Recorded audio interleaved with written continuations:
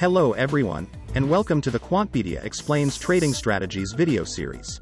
Today, we will speak about the pairs trading and statistical arbitrage strategies. Hello everyone, my name is Radovan Vojtko and I'm CEO of Quantpedia. Today we will discuss statistical arbitrage and pair trading uh, strategies. Statistical arbitrage and pair trading uh, or arbitrage strategies are uh, fairly popular and um, as you can see they are employed on a lot of the different markets in equities, bonds, commodities, uh, FX, etc.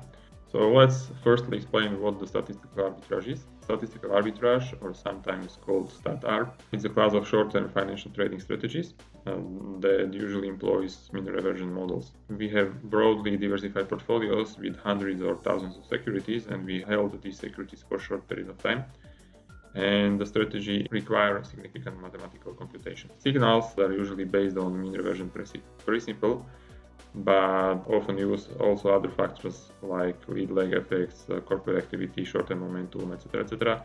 In this case, it's usually called multi-factor StatArb. But in this uh, video, we will do just simple pairs trading. So we will show how the pairs trading. What is the pairs trading? The pairs trading is a class of arbitrage or statistical arbitrage strategies. Usually um, employed in equities, but we can employ the pairs trading or pairs trading models in other assets such as commodities, uh, ETFs, etc. etc. What does the pair trading means? For example, we select two securities that are highly correlated. When one security temporarily weakens, so one stock moves up while other moves down. The pairs trade means that we will short the outperforming stock and long the underperforming one. So we are betting that the spread between the two stocks would eventually come uh, converge. So how does it look like? So let's get an image. So we have a two stocks, stock A and stock B.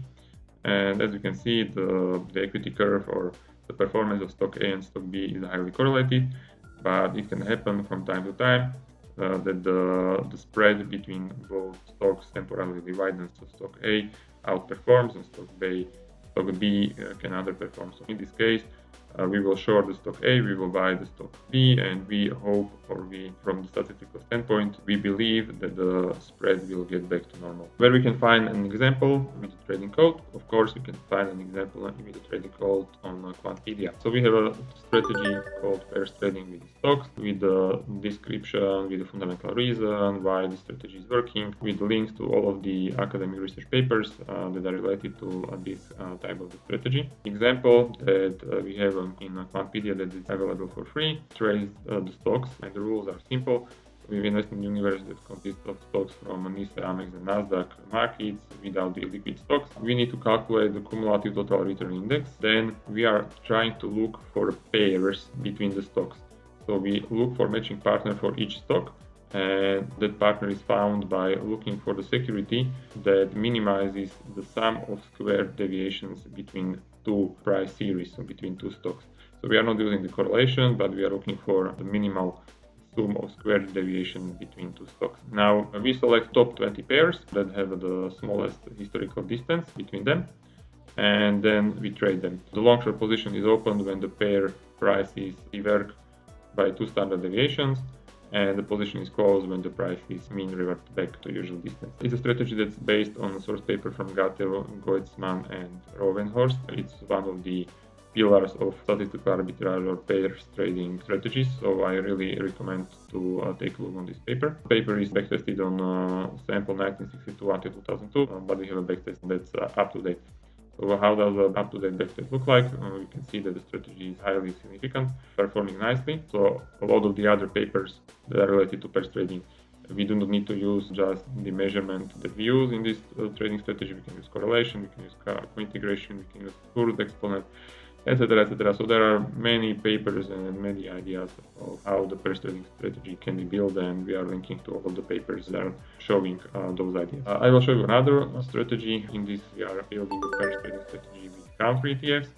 So instead of looking for stocks that are correlated integrated or have a short distance between them we are using the etfs the logic is nearly the same so uh, we are using the 120 day formation period. Once again, the distance between the pairs of ETFs is calculated as the sum of square deviations between two normalized price series. We select all five pairs with the smallest distance and once again we buy the underperforming ETF, short the outperforming ETF in case when the distance between two ETFs mm, broaden. Trade is if the pair mean revert or after 20 days. So how does uh, the strategy look like? As you can see, the strategy is again performing well.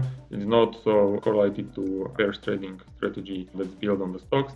So as we can see, we can build multiple pairs trading strategies or simple statistical arbitrage strategies, and uh, they will not be correlated uh, to each other because if each of them is built on different uh, investment universe, let's say ETFs, stocks, commodities, etc., etc., we can build nice diversified portfolio of uh, statistical arbitrage strategies and have a better, a better performing uh, portfolio.